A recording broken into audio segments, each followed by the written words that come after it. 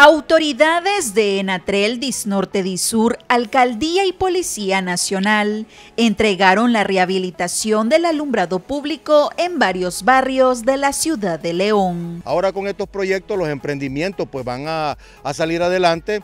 Ya el pueblo está consciente de que nuestro buen gobierno está interesado en llevarle todos estos beneficios a las personas, a las familias. Y este es un buen programa que, eh, comandante Daniel, a través de Enatrel, ha logrado llegar a todas las comunidades. Nos permite a que los muchachos se diviertan, el deporte, y eso nos ayuda pues a tener una seguridad ciudadana más clara, más vistosa y que sigamos adelante, que vendrán más victorias para las comunidades.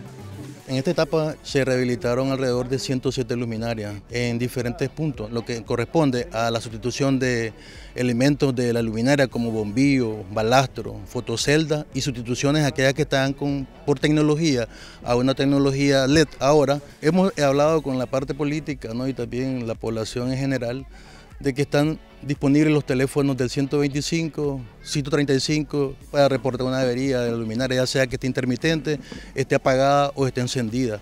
En este momento, una vez que se genere el aviso, enviamos esos reportes a nuestras brigadas para que sean reparados y garantizar la disponibilidad del alumbrado público a la población. Ahora los pobladores de León Norte, Sutiaba Norte, San Francisco, Zaragoza, San Felipe, Ermita Los Dolores, Bypass y Lechecuagos transitan por calles bien iluminadas y seguras. Las personas que viajaban desde tempranas horas de la madrugada hacia el mercado o hacia sus puestos de trabajo eh, van con mayor seguridad y se ve el ambiente diferente.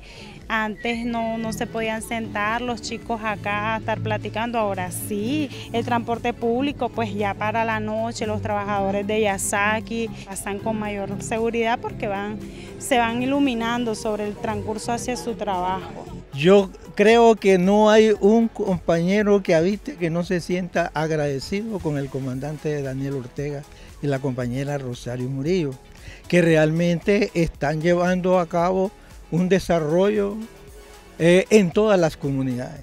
Se atendieron 22.510 familias leonesas.